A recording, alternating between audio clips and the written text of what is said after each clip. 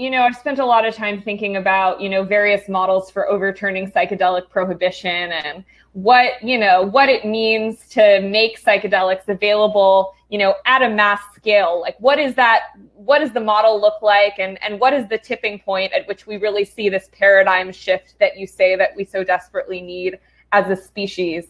Um, can you talk to us a little, a little bit about this? I mean, it's happening now. It's that there's a revolution from the underground. I know I when I first got into this psilocybin mushroom scene in the 70s, I was literally treated like a leper. I had a long-haired hippie. I go to the medical conferences or the mycological conference. It's like I had this contagion.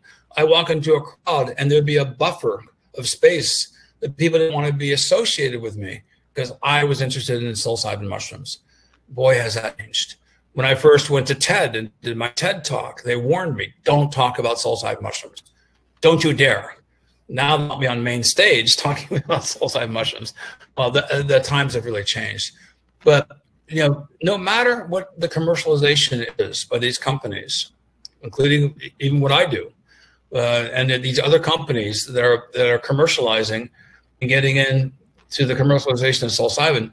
The fact is, folks, 95, 99, who knows, percent of the people are going to be taking psilocybin mushrooms in their natural form. You can grow them at home. Um, a ballot measure 109 and 110 passed in Oregon. This is huge. The therapeutic use of psilocybin in Oregon is ballot 109. The decriminalization of, of drugs, uh, plant-based medicines and mushrooms uh, in in Oregon through the decrim movement, which I'm a strong supporter of. And there's a lot of controversy at first because I think they passed by 57, 58 percent of the vote, and people were concerned that 109, um, you know, 110 is competing with the 109. Um, but I don't. I see the two pistons of the same engine because what ballot measure 110 does, which is fantastic, is they take the marijuana tax revenue and they'll use that tax revenue uh, for therapy, therapeutic use, and treating addiction, and uh, using these entheogenic substances to help fight addiction, depression, anxiety, and for therapeutic use. Well, one on not therapeutic use. So, interestingly, these two groups were sometimes in opposition to each other but the the ballot 1010 now creates the financial vehicle to fund the therapeutic use of psilocybin as passed by ballot 109. So 110 helps 109. And then there's a ballot 81 in Washington, D.C., which is the decriminalization of most all drugs, hard drugs as well. Um, and that passed by like a whopping 75% uh, of the voters in Washington D.C. in the belly of the beast. Maybe they know they needed it more than anyone.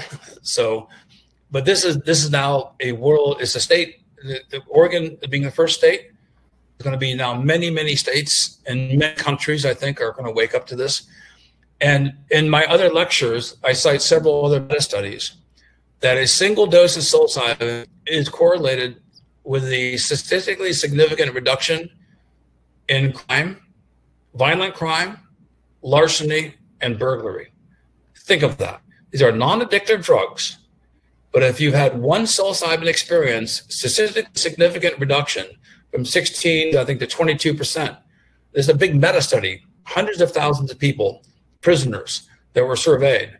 And the, the correlation um, is not always causation, but in this case, it looks like it is that a single use of psilocybin mushrooms is related with a reduction in criminal behavior. Any law enforcement officer out there, any judge, any government official thinks about how much money we could save in our budgets, law enforcement can focus on on more targeted relations and not busting people for possession for a few mushrooms, you know, uh, in their possession when they know that the mushrooms actually will reduce criminal behavior. I mean, this is a game-changing societal breakthrough is the use of these psychedelics, you know, psilocybin in particular, other comp- compounds, you know, iboga, ayahuasca, um, MDMA, etc., also have similar trend lines that show that these things positively change people's lives for the better. and also serves the commons because the reduction of the cost of the courts and uh, and all of us know people who've been arrested either uh, for good reason or for bad but, but it's traumatizing. It's traumatizing to the immediate family. It's traumatizing to your cousins your uncles your aunts. It's traumatizing to your neighbors it's traumatizing to the outer community now what if we could throw a psilocybin pebble into the pond of consciousness psilocybin mushroom. The reverberations coming out from that experience has the opposite effect. You're more compassionate, you're more empathetic, you're more generous, you're kinder. You know, these this is really an important medicine for our society. And it's and indigenous peoples have known this for so long. Um, and it's taken modern society an, an exceptionally long time to wake up and it's you know indigenous peoples under so much pressure and threat and disease and war and religious persecution it's extraordinary that they've been able to survive to the point they are now but now we need to build upon that and um, when with indigenous peoples you know i have some pretty potent things to say that may not make most many people happy um, but I, I would like to elocute on that just for a minute unless you have another question. No, we'd love to hear it. We are a big, big supporters of sacred reciprocity at Double Blind and think it's really important that psychedelic users think about Indigenous communities. So please do go ahead. Well, I mean, it's come into focus many times, but there was a initiative in Oakland, um, the Decrim movement, and I'm going to just very generally describe and maybe misdescribe some of some of the um, some of the things that happened. But basically, the Native American church was not consulted uh, when they put peyote on decriminalization. Um, that was a that was a misstep. I don't think it was intentionally evil, or but it was definitely not being fully conscious of the rights of indigenous peoples. When it comes to psilocybin mushrooms, there's 116 species of psilocybin active mushrooms in the genus Psilocybe you know, 116 psilocybe species that contain psilocybin out of a genus that has about 216. So more than half the species in the genus Psilocybe are psilocybin active. They grow all over the world. And the use of psilocybin mushrooms goes back to Greek times and to Northern Africa and to Europe and England, of course, in, in, in Mesoamerica, uh, you know, in South America, uh, Mexico, um, you know, perhaps the Pacific Northwest, there's, there's no documentation that, that's been that I've seen that's been very convincing, but I can't imagine they wouldn't. You know, any indigenous people living in their ecosystem are pretty conscious of these things. But my point is that the use of psilocybin is circumpolar. It joins culture together. It's a bridge. It's a it's a psychedelic bridge that unifies us as one people together. Now, when it comes to peyote, I think it's a very special category. Uh, the Huichols and, and the Yaqui and the other indigenous people and, um, and the more arid regions, you know, of the Southeast uh, North America, you know, part of their peyote hunt is part of the cultural, it's part of their vision quest. And I just really feel we can go San Pedro at home, etc.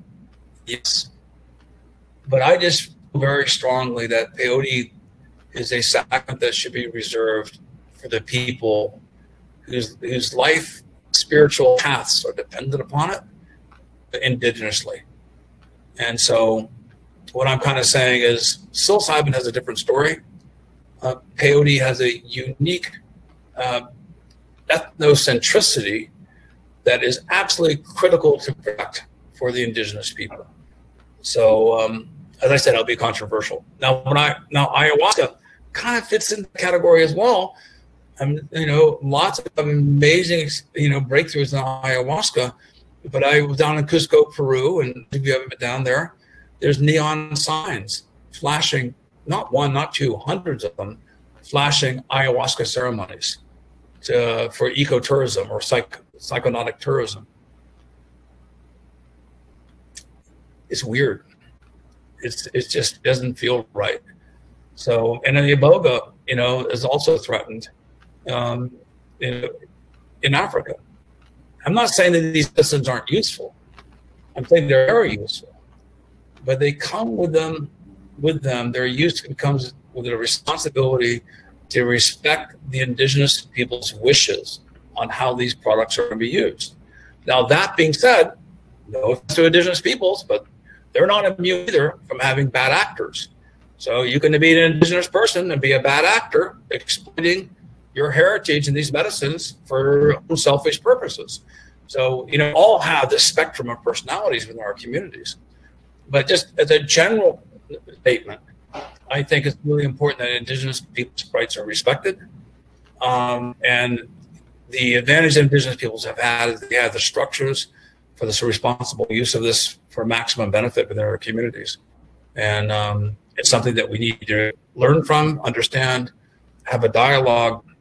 But can we at least leave peyote alone for the indigenous peoples that need it so well? Because the rapid decline of peyote is a threat to our cultural heritage.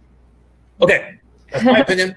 thank you for the no, thank you for it. we appreciate it. And you know, issue four comes out in December, and we actually have a long, beautifully written feature by journalist Tracy Barnett about the Huichols and their their struggles over to preserve the. Um, it's called the birthplace of the sun, the desert there, where they've migrated for generations to collect their sacred peyote. So if you're interested in learning more about that um, you can do so in the upcoming magazine. Um, and also, we'll be sure to send out um, in our follow up email with resources. Chacruna has put out some really important work around um, sacred reciprocity and the responsible use of indigenous plant medicine. So, definitely an ongoing conversation we want to be having.